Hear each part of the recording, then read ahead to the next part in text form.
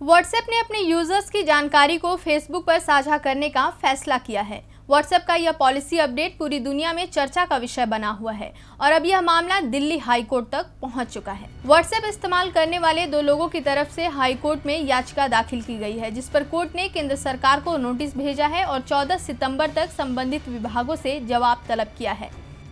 इस याचिका में आरोप लगाया गया है कि व्हाट्सएप की इस नई पॉलिसी से यूज़र्स के अधिकारों के साथ खिलवाड़ किया गया है। साथ ही इस नई पॉलिसी से यूज़र्स की प्राइवेसी भी खतरे में पड़ सकती है।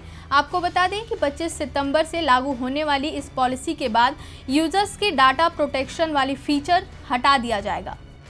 इसके बाद व्हाट्सएप की सभी जानकारियों को फेसबुक अपने ग्रुप की सारी कंपनियों के साथ शेयर कर सकेगा।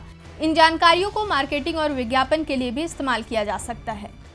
इस मामले में याचिका दाखिल करने वालों के वकीलों का कहना है कि व्हाट्सएप अपनी पॉलिसी में बहुत बड़ा बदलाव करने जा रहा है और सहमति के नाम पर यूज़र्स को एक मैसेज भेजकर सहमति लेने का सिर्फ़ दिखावा कर रहा है।